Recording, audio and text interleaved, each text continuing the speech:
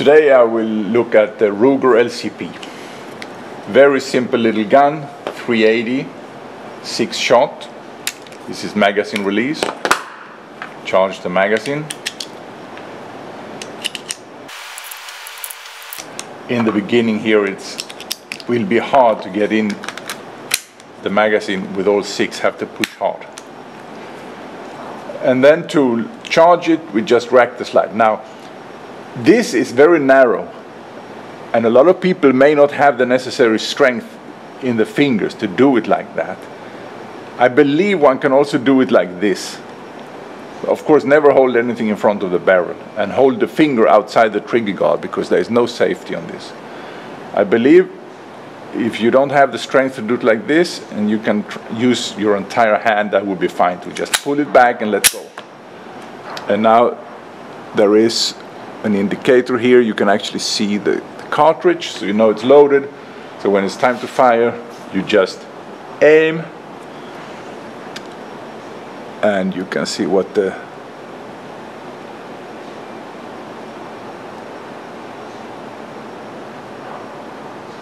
all right there it's kind of hard to move it like this but okay there you get it there you can see the aiming device and what you see back here is the hammer so when you start pulling the trigger the hammer moves and it will move down almost all the way and then fly and the shot goes off. And then it reloads a new uh, cartridge and it stays in the same half-cocked position. So the hammer is half-cocked all the time. You always have a lot of resistance on the trigger and that's the safety that you have to push hard. Now remember, this is a very small gun it doesn't fit very well in the hand.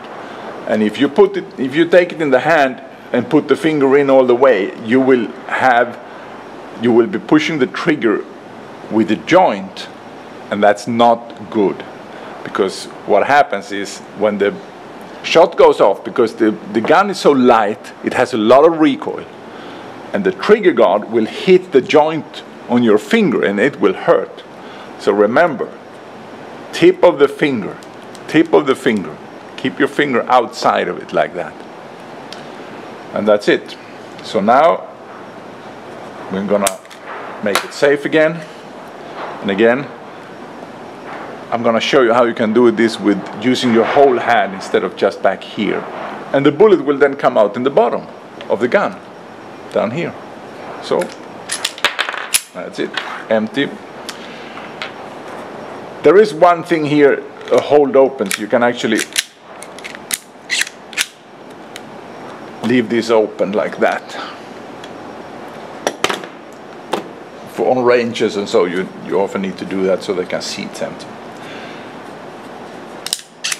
now to field strip it to clean it this is the thing you need to to take off this sprint here.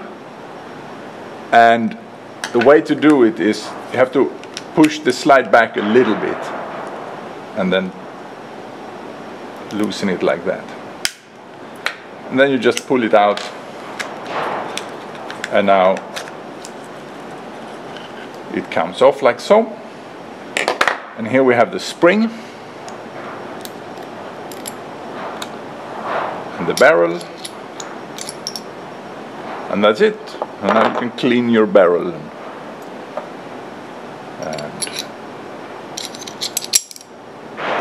it back together.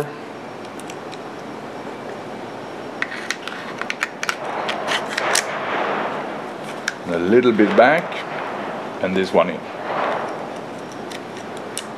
There is a, a spring in here, I don't know if you can see it, a little spring. So when you put the sprint in, push the spring down so it gets out of the way and then it's like so, ready. Oh, now when it's not loaded, I can show you the the hammer in the back. That's it.